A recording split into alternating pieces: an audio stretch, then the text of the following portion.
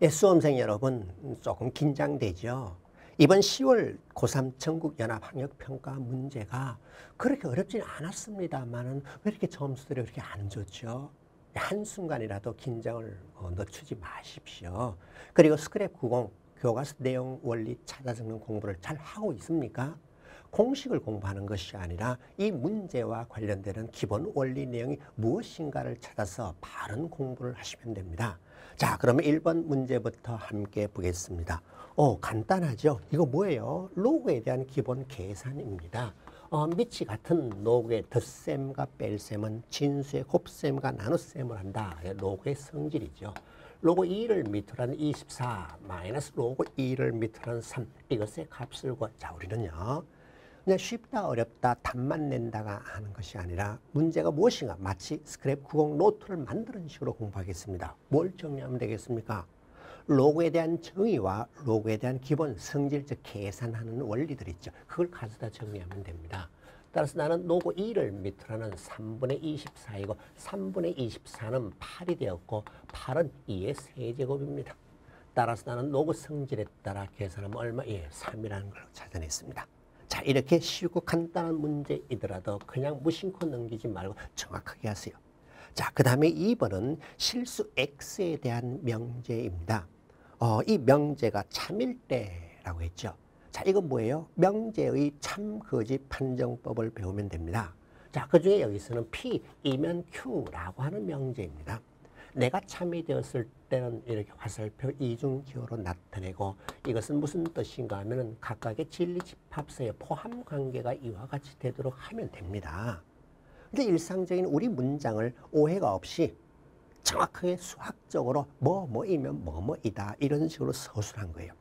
자, x-2가 제로이면 어, x제곱 마이너스 ax 플러스 a 이퀄 제로이다. 이 명제가 참이 되도록 하는 상수 a를 구하시오라고 했습니다. 자, 앞에 p라고 하는 명제의 진리집합은 x 이퀄 2입니다.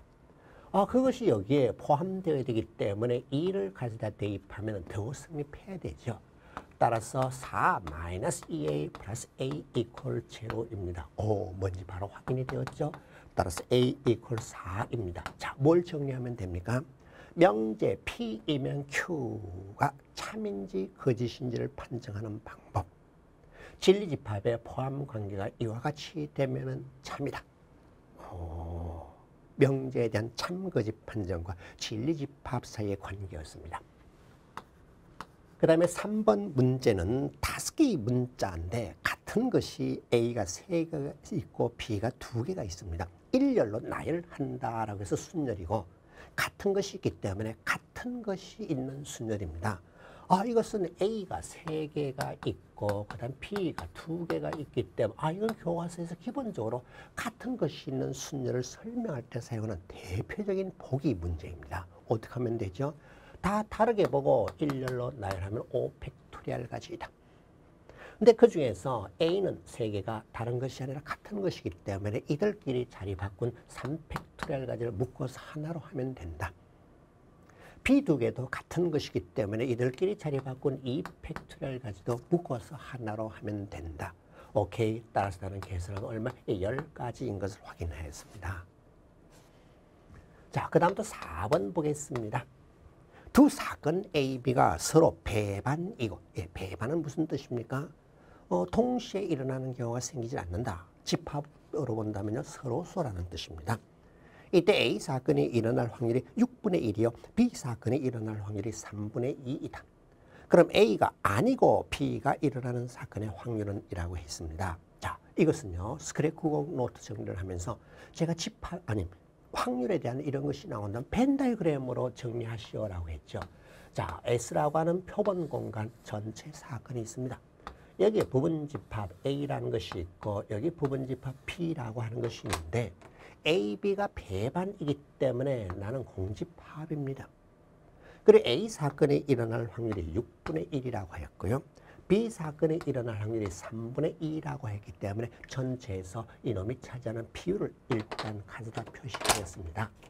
자, 그런데 뭘 구하라 했어요? A가 아니고 B인 것을 물었죠. 자, A가 아니고 B인 것이라면 예, 여길 뜻하는 겁니다. 그죠? 어, 그러면 나 이것은 저 벤다그램에서 이거와 똑같고 따라서 구하고자 하는 것은 3분의 2입니다. 옳지 확인되었습니까? 자, 확률에 대한 기본 계산. 확률이 뭔가 하면은 표본 공간의 전체 집합이고 확률에 대한 계산이요. 사건의 그 부분 집합이에요.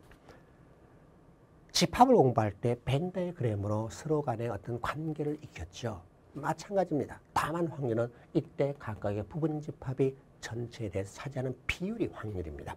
그래서 벤 다이어그램을 그려서 집합의 연산으로 확인하시면 됩니다.